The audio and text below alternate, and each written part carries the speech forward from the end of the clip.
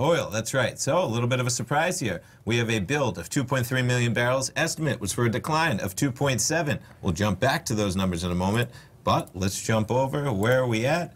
Boom. Market going down, man.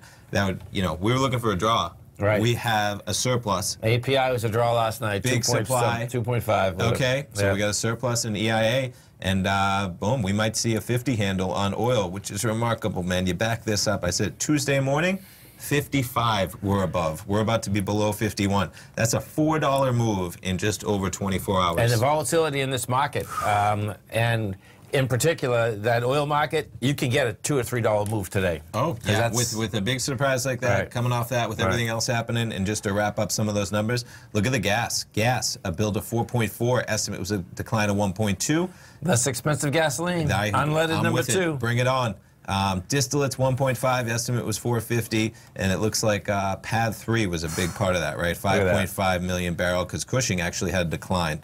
And um, they got refinery crude inputs, refineries going up, even with gasoline being out there. Maybe that's part of the contribution in terms of refinery crude inputs, refinery production. We'll see what happens. Action all over the place. You gotta love it.